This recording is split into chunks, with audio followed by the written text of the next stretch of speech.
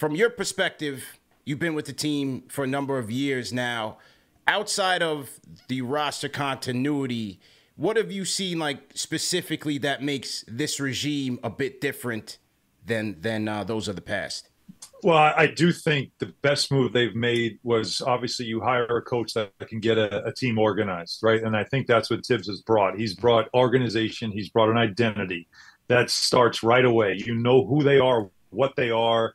He keeps everything clear. Every player understands it, whether you like it or not. And again, there are players, it's not for everyone.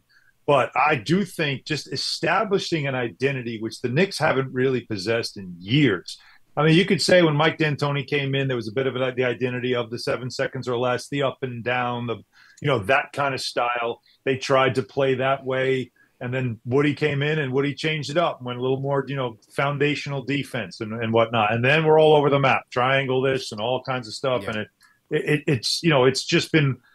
It, as you said, it, has been constant change. But you, when I used to say, "What are the Knicks? Who are the Knicks?" you never talked about a style or an identity or, or, or, what they were. You would bring up things that went on off the court. You would bring up the the turnover roster, the trades, whatever, draft picks. But you never would just say, "Oh man, Knicks." When I think Knicks, I think tough physical defense. Mm-hmm. You used to think that back in the day.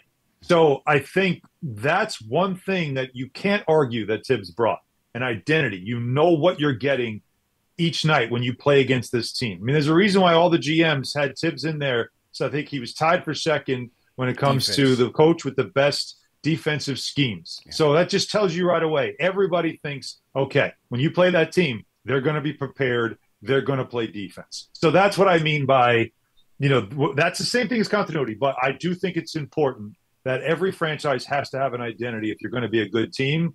That's what this. I always credit Leon Rose. It was the smartest thing he did because you had so much turnover, you had so much confusion, you were like, can can Derek Fisher coach? We don't know. Yeah. Uh, you know, you got different names. You know, Jeff Hornacek comes in, and then Mike Miller now is a. It's just settle it down. Give me a guy that's coaching this league, that knows the league, that knows the refs, that knows other coaches, that just has that kind of credibility and an identity.